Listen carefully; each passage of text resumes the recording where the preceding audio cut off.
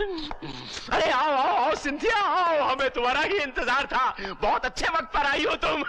देखो तुम्हारी दावत की खुशी में हमने क्या क्या मंगवाया है। ये देखो फ्रूट्स ये देखो पूरिया और ये इमरती बहुत ज़रूरी है हाँ। ए, इधर आओ।